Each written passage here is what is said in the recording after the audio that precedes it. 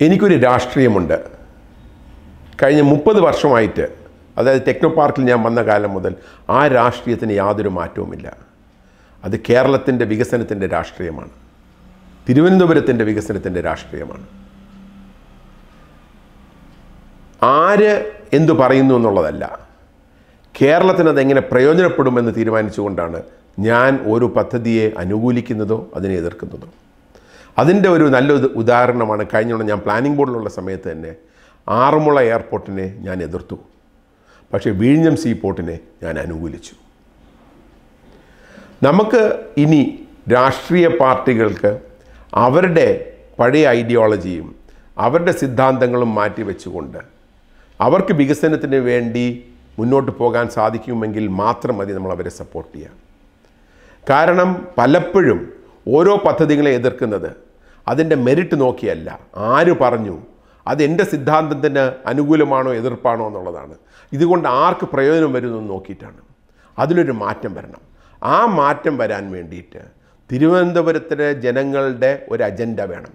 ഒരു developmental agenda വേണം. ആ അജണ്ടയുടെ ചർച്ചയ്ക്ക് വേണ്ടിയിട്ട് ഒരു തുടക്കമായിക്കൊള്ളട്ടെ ഞാൻ ഈ പറയുന്ന കാര്യങ്ങൾ. ഞാൻ പന്ത്രണ്ട് പദ്ധതികളെ പറ്റി പറയാം. നിങ്ങൾക്ക് മറ്റ് പല പദ്ധതികളെയും നിങ്ങളുടെ മനസ്സിൽ കാണുമായിരിക്കും. ആ പദ്ധതികളെപ്പറ്റി നമുക്ക് ഡിസ്കസ് ചെയ്യാം. നിങ്ങൾക്ക് പരിചയമുള്ളവരുമായിട്ട് ഡിസ്കസ് ചെയ്യുക അത് ഷെയർ ചെയ്യുക എന്റെ ഫേസ്ബുക്ക് പേജിലും എന്റെ യൂട്യൂബ് ചാനലിലും നിങ്ങളുടെ അഭിപ്രായങ്ങൾ അറിയിക്കുക. എത്രത്തോളം ആൾക്കാർ ഇതുമായിട്ട് ബന്ധപ്പെടുന്നു അത്രത്തോളം നല്ലതായിരിക്കും. കാരണം ഇതൊരു പീപ്പിൾസ് അജണ്ട ഫോർ ഡെവലപ്മെന്റ് ആയിട്ട് മാറും. തിരുവനന്തപുരത്തെ റെസിഡൻസ് അസോസിയേഷൻസ് തിരുവനന്തപുരത്തിലെ ലോക്കൽ ബോഡി കൗൺസിലർമാർ വാർഡ് മെമ്പേഴ്സ് അവരെല്ലാവരും ഇതിനെപ്പറ്റി ചർച്ച ചെയ്യട്ടെ.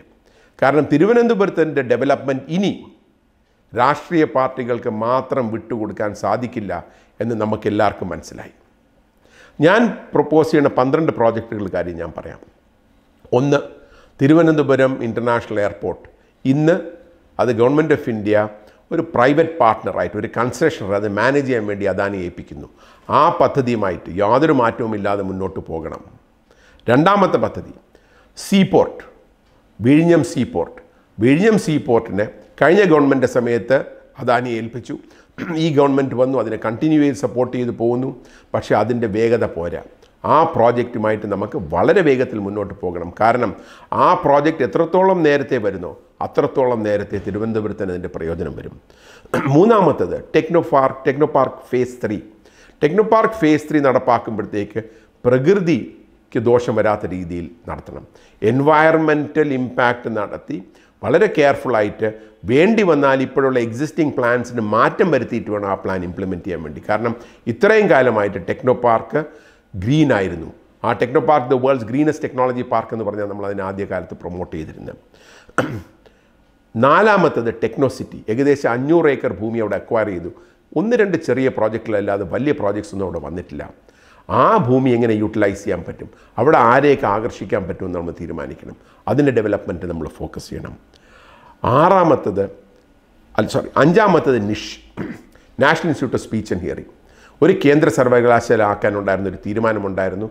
അതിനുമുമ്പ് സംസ്ഥാന സർവകലാശാല സർവകലാശാല ആക്കാനുണ്ടായിരുന്ന ഒരു പരിപാടി ഉണ്ടായിരുന്നു. പക്ഷേ കേന്ദ്രം അത് ഏറ്റെടുക്കാമെന്ന് പറഞ്ഞപ്പോഴത്തേക്കും നമ്മളത് മാറി നിന്നു. കേന്ദ്രത്തിലെ കേന്ദ്രവും സംസ്ഥാനവും തമ്മിലുള്ള രാഷ്ട്രീയത്തിന്റെ ഭാഗമായിട്ട് വന്ന ചില തർക്കങ്ങളുടെ ഭാഗമായിട്ട് കേന്ദ്രം അത് മുന്നോട്ട് പോകാൻ പോകണ്ട എന്ന് തീരുമാനിച്ചു. അത് മുന്നോട്ട് പോകണം. എന്തെങ്കിലും കാരണവശാൽ കേന്ദ്ര ഗവൺമെന്റ് അതുമായിട്ട് മുന്നോട്ട് പോകുന്നില്ലെങ്കിൽ സംസ്ഥാന ഗവൺമെന്റ് അതിനെ ഒരു സർവകലാശാലയായിട്ട് മാറ്റണം.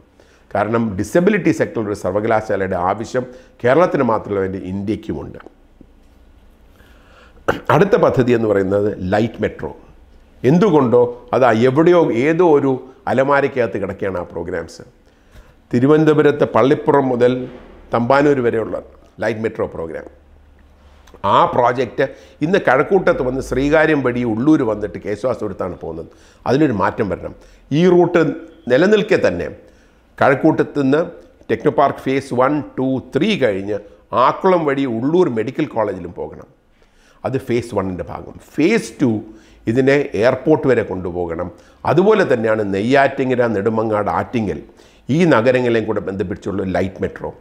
അത് പി പി പി മോഡലിൽ നടപ്പാക്കണം. സർക്കാരിനെ നടപ്പാക്കാൻ സർക്കാരിന്റെ കയ്യിൽ പൈസ കാണില്ല. എട്ടാമത്തെ പദ്ധതി എന്ന് പറയുന്നത് കോവളം.